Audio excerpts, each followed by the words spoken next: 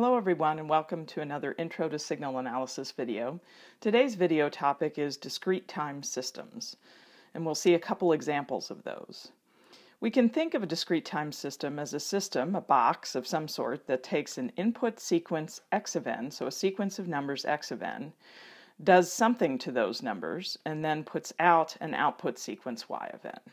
So today we're going to see two examples of um, definitions of systems that do this, and we're going to calculate the outputs of those systems for a given input. So let's get going.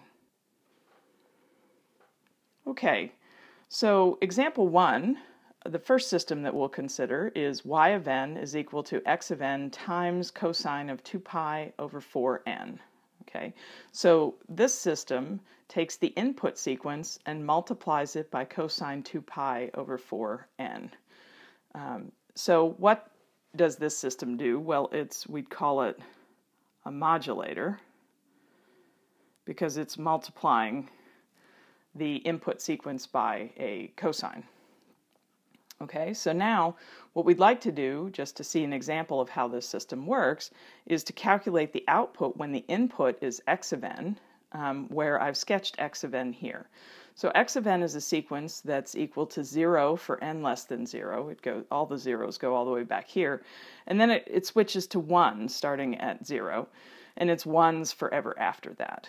And so this is what's known as a unit step sequence okay? The sequence that is 0 for n less than 0 and 1 for all the n values greater than 0. So now we can calculate the output of this system when this is the input. And in order to do that, well, what do we do? Well, we just have to multiply at each time point, we multiply the input by the cosine 2 pi over 4n which obviously we can reduce this to cosine pi over 2n, okay?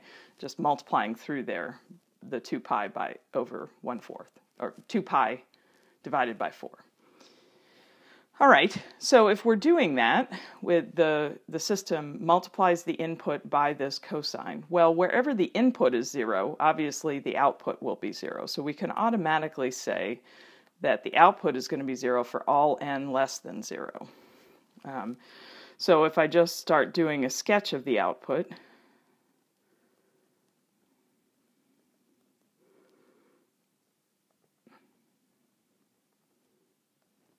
y of n, then we know for sure it's going to be 0 before n equals 0. So um, this is minus 1, minus 2, minus 3, minus 4, minus 5, etc. And it's staying um, 0 for all the values of n less than 0.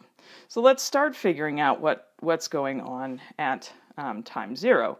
So at time 0, we're going to um, multiply 1, that's the value at 0 of the input, by cosine of pi over 2 times 0. Well, cosine of 0 is 1, so we'll just get 1 at time 0.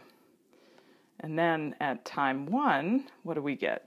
So at, um, well, let me summarize what we got at n equals 0. At n equals 0, we got y of 0 is equal to x of 0 um, cosine of pi over 2 times 0 and that is equal to 1.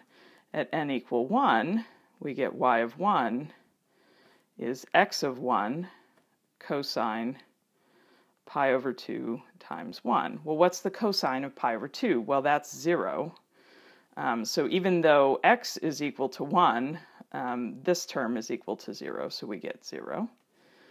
Similarly, n equal 2, y of 2 is equal to x of 2, which is 1, times cosine pi over 2 times 2. Well, this is cosine of pi, which is minus 1, so the overall result will be minus 1.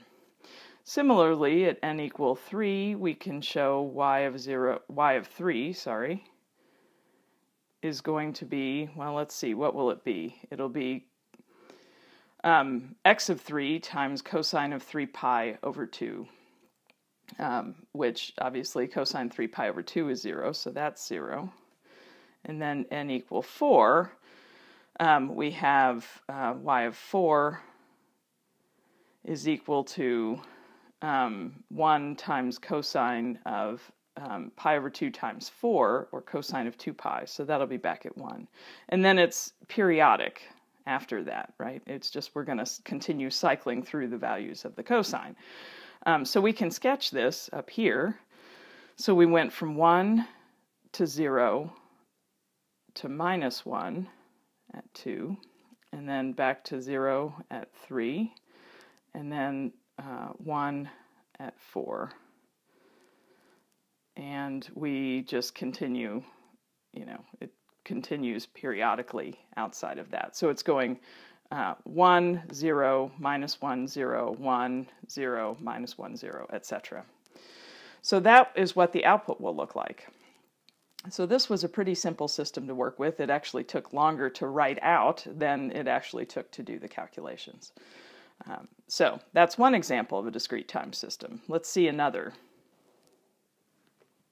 Okay, here's our second system. This system um, takes the input, uh, so the output y of n is going to be a third times x of n plus x of n minus 1 plus x of n minus 2. So what is this system really doing? Well, it's calculating an average of three values here, right? So an average of the current output, or the current input, sorry, because it's at time n, with the two previous inputs. Um, and so this system is a three point moving average. That's what we would say that it does. Okay, and now we want to calculate the output when the input is our unit step sequence that we considered in the last example. Okay, well, if we're calculating an average, then if the input's zero and has been zero forever, um, we're just going to get zero. So we can do a sketch of the output. So we're sketching the output, y of n, and we know that the output has to be zero before anything comes in. So um, we're getting all zeros over here. So at minus 1, minus 2, minus 3, minus 4, minus 5, etc. It's just equal to 0 because nothing's come in yet. Now at, at 0, at 0, so y of 0 is equal to 1 third. Now I'm just going to substitute in x of 0 plus x of minus 1 plus x of minus 2. Um, so I just substituted into this equation, I'm just substituting in n equals 0, and that's how I got this. So at, at time 0, the output is going to be this. Well, what is x of minus 1 and what are x of minus 1 and x of minus 2? Well, they're 0, right? They're over here.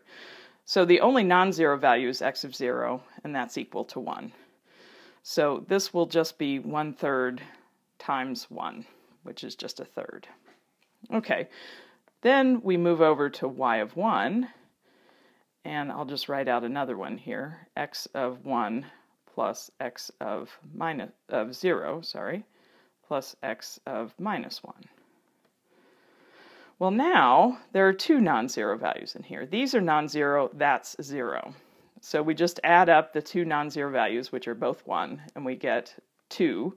Um, so my overall is 2 thirds.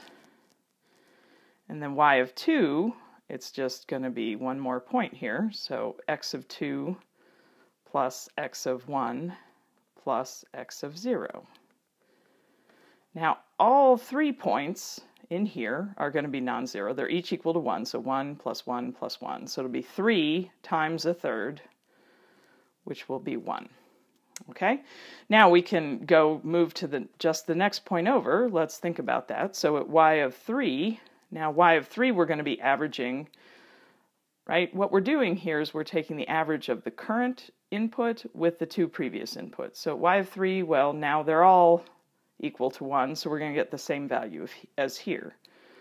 So y of 3 is going to be equal to 1. And it's pretty easy to see that forever on out, we're just going to get 1. Because the moving average, the average of the three most recent points coming in, um, are, since they're all the same, once we get over here, um, it's equal to 1. So, um, so we can just sketch in our results here. At 0, we got 1 third. So that's a third. At 1, we got 2 thirds.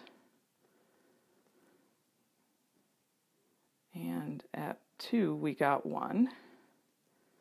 And then we'll get 1 forever from that point forward. We'll keep getting 1s for the, this particular input to the moving average. Okay, so this was a pretty simple system to work out.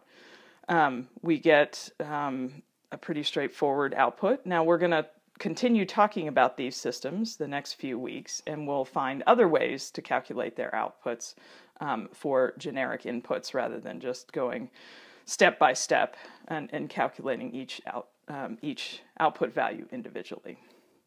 So I encourage you to keep listening and uh, keep studying signal analysis. So that brings us to the end of our video. This video was made for the ECE 201 course at George Mason University. Um, if you want to know more about Mason or the Volgenau School of Engineering, the ECE department, or me, you can check out these websites. Thanks for listening.